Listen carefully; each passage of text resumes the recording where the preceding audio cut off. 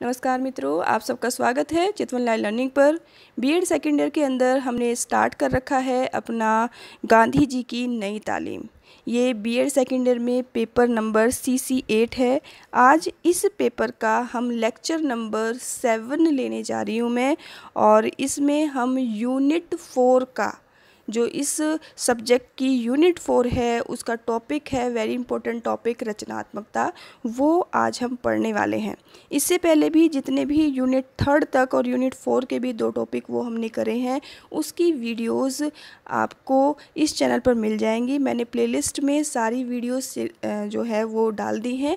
आप जाकर वहाँ से वीडियो देख सकते हैं या फिर मैं उनका लिंक आपको कमेंट बॉक्स में और डिस्क्रिप्शन बॉक्स में भी दे दूँगी। आप वो वीडियो भी ज़रूर देख लें।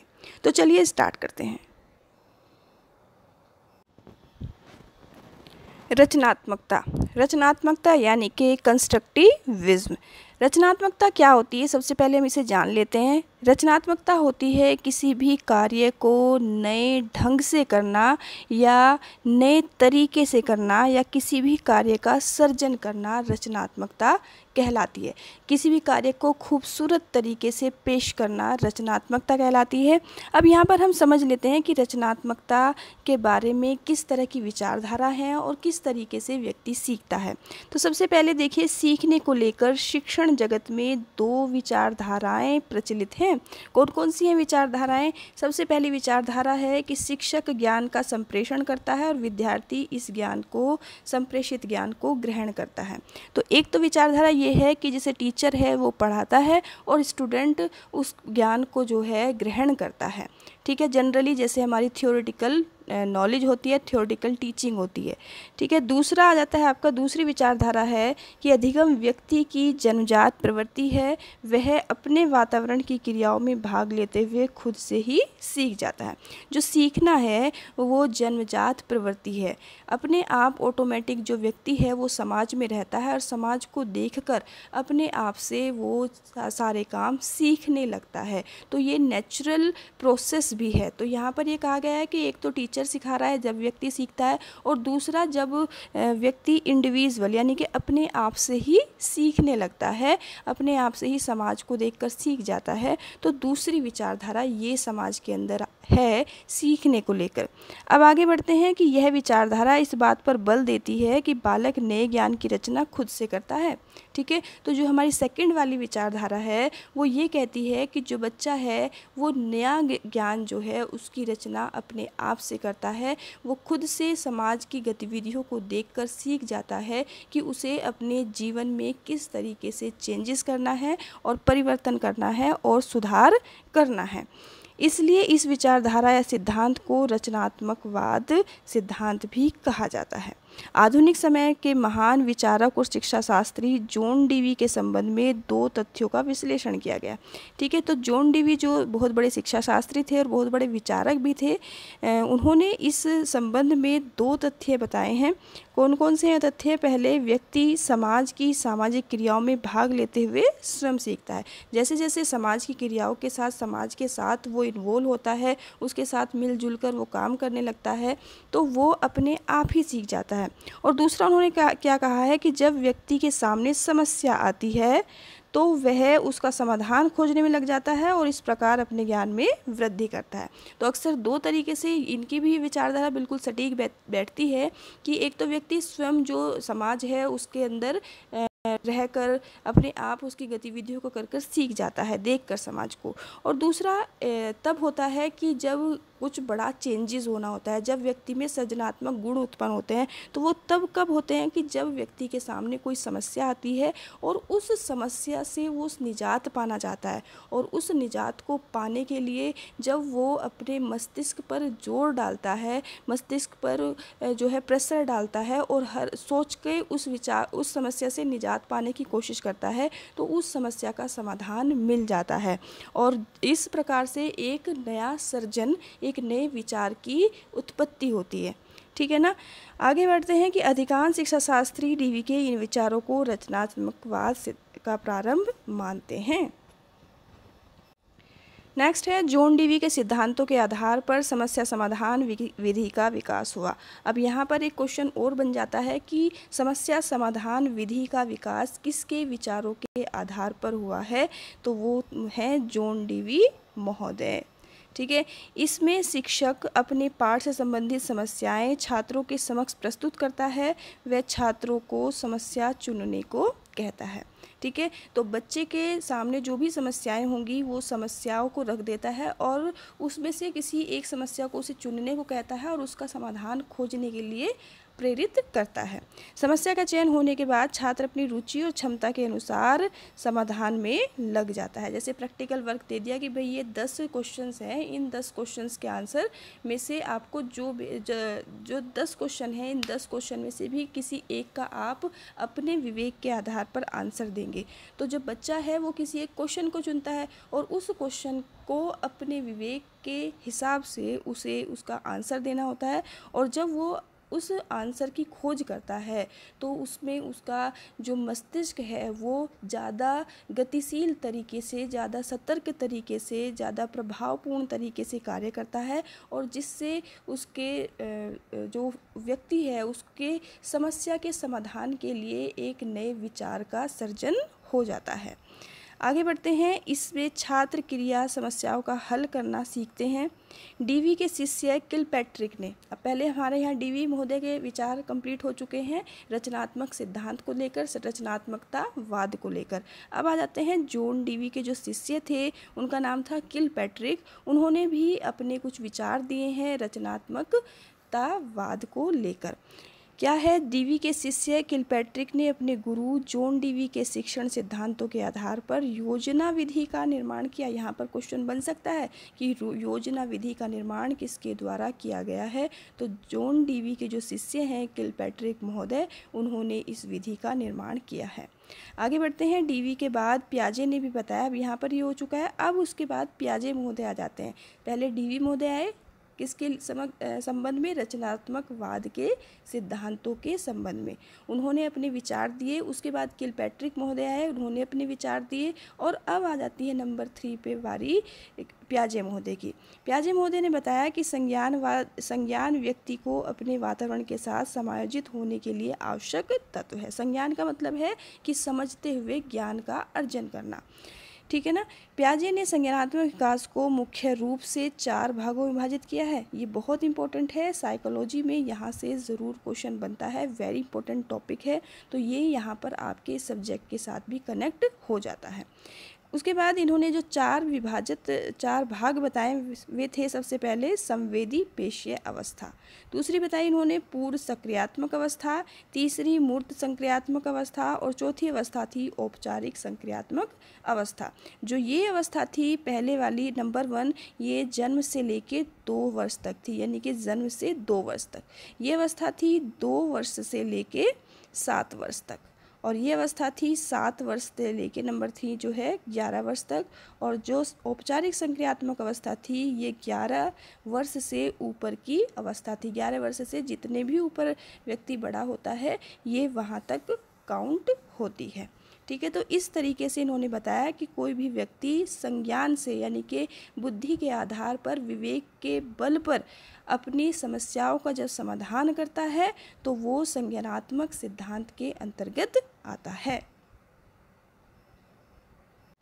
अब नेक्स्ट पॉइंट आ जाता है मनोवैज्ञानिक वाइगोत्सकी। अब हमने यहाँ पर आपको सबसे पहले डीवी महोदय के बारे में बताया उनके विचार बताए, फिर उसके बाद किलपैट्रिक महोदय ने उनके बारे में बताया, फिर उसके बाद प्याजे महोदय ने बताया और अब नंबर फोर जो नंबर आ जाता है वो है वाइगोत्सकी महोदय का। वाइगोत्सकी ने बच्चों के संज्ञानात्मक विकास का निरीक्षण कर यह निष्कर्ष निकाला कि बच्चे अपने सामाजिक, सांस्कृतिक वातावरण में एक दूसरे के साथ अंत्यक्रिया करके अपने ज्ञान का निर्माण करते हैं। तो यहाँ पर वाइगोत्सकी महोदय कह रहे हैं कि जो बालक है, वो अपने ज्ञान का निरीक्षण करता है। ठीक है, अपने ज्ञान का निरीक्षण करके कुछ निष्कर्ष निकालता है और उस निष्कर्ष के माध्यम से ही सामाजिक, सांस्कृतिक वातावरण पैदा होता है, जिसमें बालक एक दूसरे से जो सीखता है, वो समाज के साथ अंत क्या करेगा और अपने ज्ञान का निर्माण करेगा। नेक्स्ट है, इस सिद्धांत को सामाजिक रचनात्मकवाद या वाइगोत्सकी का संज्ञानात्मक विकास का सिद्धांत भी कहा जाता है। आगे आ जाता है रचनात्मक वाद के तत्व कि रचनात्मक जो वाद है, रचनात्मक जो सिद्धांत है कंस्ट्रक्टिविज्म है, इसके फैक्टर्स कौन से हैं, इसके तत्व कौन कौन से हैं? तो सबसे पहले आ जाता है टोलमैन महोदय के बारे में कि टोलमैन और हार्डी ने रचनात्मकवादी अधिगम के लिए पाँच तत्वों का होना ज़रूरी बताया है। कौन कौन से हैं वे? पाँच तत्व जिनके माध्यम से हम ये साबित कर सकते हैं कि ये रचनात्मक सिद्धांत है। तो सबसे पहला है पूर्व ज्ञान को क्रियाशील बनाना। किसी भी व्यक्ति के अंदर जो भी प्रीवियस नॉलेज है, जो उसको किसी भी चीज़ के बारे में, किसी सब्जेक्ट के बारे में जो भी नॉलेज है, उसको उसे एक्टिवेट करना होगा। उसको, उस ज्ञान के, उस ज्ञान को ज़्यादा उसके बारे में सोच विचार करना होगा।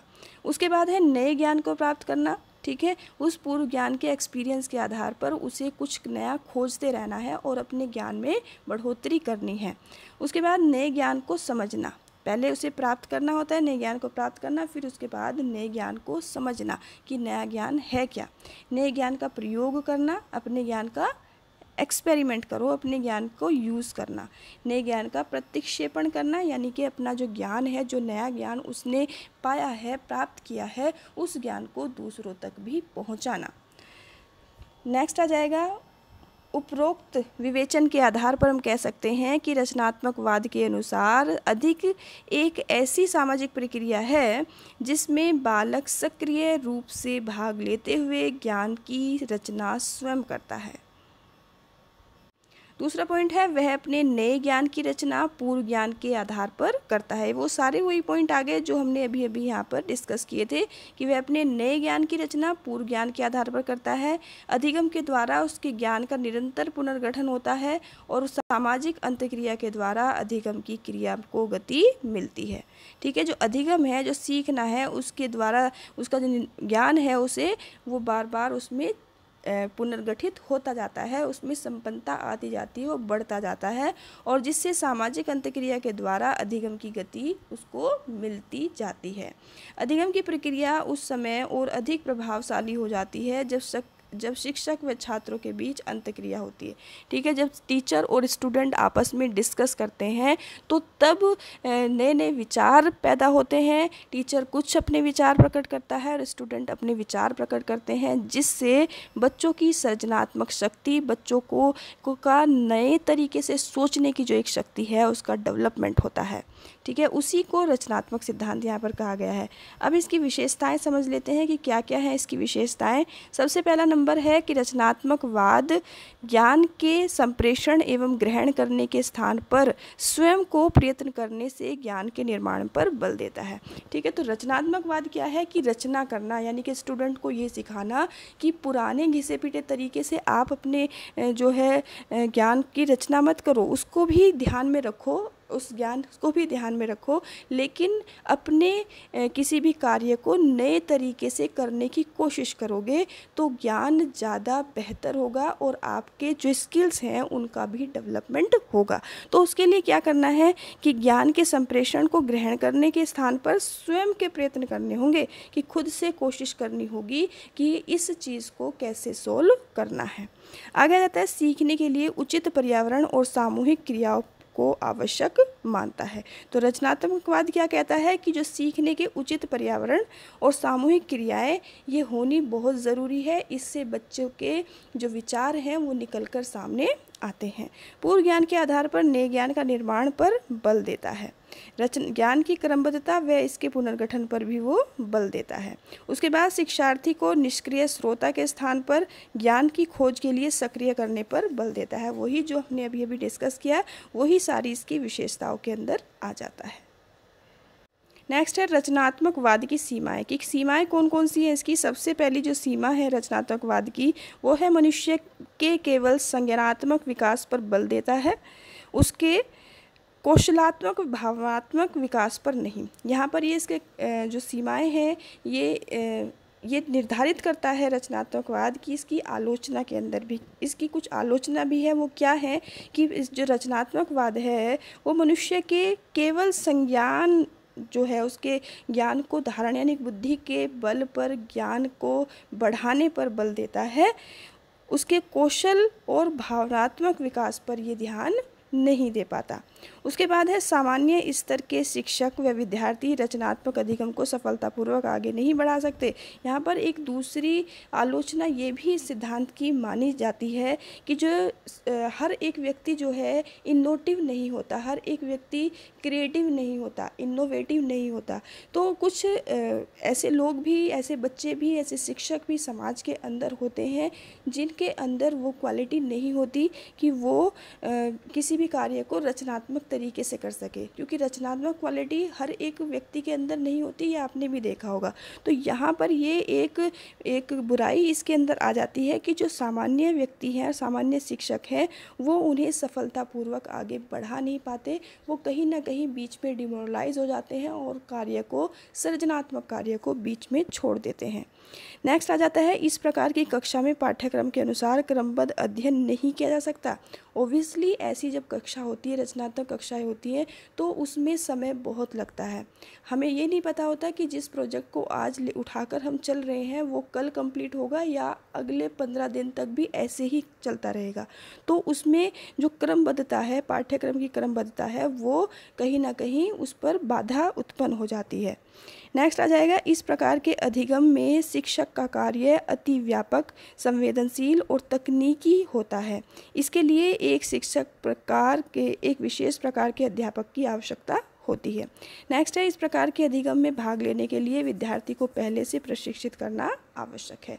अगर विद्यार्थी प्रशिक्षित नहीं होगा पहले से और उसे रचनात्मक क्लास में के अंदर भेज दिया जाए तो वो ऐसे ही एक दूसरे को देखता रहेगा, वो कुछ कर नहीं पाएगा और और ज़्यादा फेडअप ज़रूर हो जाएगा।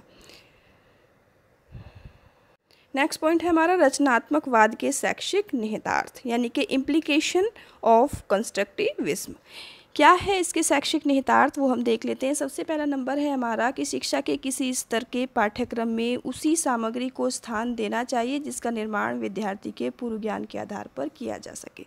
ठीक है? तो जो सामग्री है, कहने का मतलब ये है कि पाठ्यक्रम के अंदर ऐसी सामग्रियों को रखना चाहिए जिसमें जब बच्चा उसका निर्माण करने लगे तो उसको उन सामग्री की इन्फॉर्मेशन हो।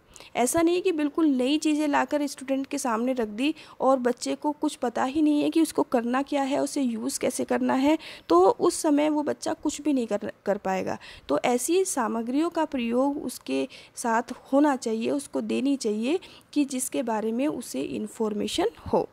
तभी वो उन चीज़ों में कुछ चेंज कर सकता है, उन चीज़ों को नए तरीके से प्रस्तुत कर सकता है। नेक्स्ट आ जाएगा शिक्षकों द्वारा ज्ञान के संप्रेषण एवं छात्रों द्वारा ज्ञान को ग्रहण करने के स्थान पर। छात्रों को अपने स्वयं के प्रयत्न से ज्ञान का निर्माण के अवसर देने चाहिए। व इस कार्य में शिक्षकों को सहभागी व प्रदर्शक दोनों रूपों में कार्य करना चाहिए। वही वाली चीज़ें जो हमने अभी डिस्कस की थी कि जो जो कम्युनिकेशन होगा, जो भी शिक्षकों और ज्ञान के संप्रेषण में छात्रों द्वारा जो भी ग्रहण किया जाएगा, उसके लिए छात्र को खुद छात्र के ऊपर छोड़ देना चाहिए, जिसमें जब छात्र जो भी गलतियाँ होंगी, वो छात्र खुद करेगा, लेकिन उसमें जो टीचर है, उसका रोल ये होगा कि वो सहयोगी बना रहे और एक पथ प्रदर्शक के रूप में छात्र की हेल्प करें। लेकिन छात्र को स्वयं करने के लिए प्रेरित करना चाहिए। नेक्स्ट आ जाएगा, शिक्षकों को कक्षा में ज्ञान के निर्माण के लिए उचित पर्यावरण, यानी कि वातावरण का निर्माण करना चाहिए। नए ज्ञान के निर्माण के लिए शिक्षक, विद्यार्थी व विद्यार्थी विद्यार्थी और विद्यालय विद्यालयों के बीच अंत क्रिया होनी चाहिए। विचारों का आदान प्रदान होना चाहिए, तर्क होने चाहिए व उसके बाद निष्कर निर्णय निकलने चाहिए।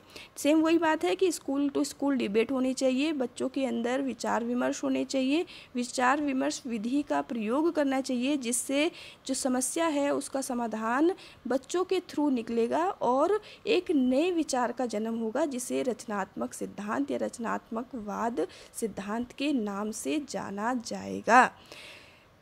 ठीक है स्टूडेंट्स ये सारे नोट्स आपके कंप्लीट हो गए हैं। होप करती हूँ कि आपको सारी चीज़ें समझ में आ गई होंगी। अगर आपको ये वीडियो पसंद आई है तो वीडियो को लाइक करें सब्सक्राइब करें, अपने फ्रेंड्स के शेयर करें अपने फ्रेंड्स के साथ। और अगर पहली बार चैनल पर आए हैं तो कृपया करके चैनल को सब्सक्राइब भी ज़रूर कर दें।